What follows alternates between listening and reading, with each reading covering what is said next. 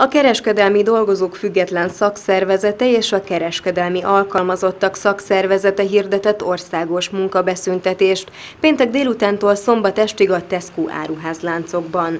A szakszervezetek 25%-os béremelést követelnek és szeretnék elérni, hogy a legalacsonyabb béren foglalkoztatott munkavállalók fizetése is közelítse meg a bruttó 200 ezer forintot, a munkavállalói létszám pedig 15%-kal emelkedjen, adta hírül az MTI.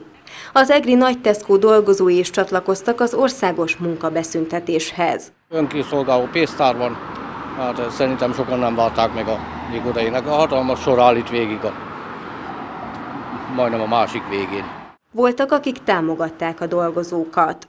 Hát nagy sor, sorálba van, de igazuk van a dolgozóknak, hogy sztrájkolnak, igazuk van. Én is kereskedelemben dolgoztam 28 évet, és tudom, hogy mi ez. Nem működött a számít, a pénztárgép, természetes joguk van sztrájkolni.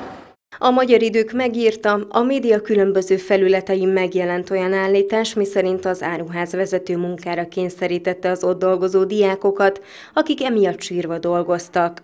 A Tesco áruház hivatalos közleményt adott ki az állításra reagálva, miszerint nem az áruház vezetője, hanem a sztrájkoló munkatársak helyezték őket nyomás alá. Ezt az érintett diákok maguk mondták el Hevesi Nórának, az áruházlánc kommunikációs vezetőjének olvasható a közleményben. Hevesi Nóra felszólította a szakszervezeti vezetőket, hogy felelős viselkedéssel tartsák kordában az indulatokat.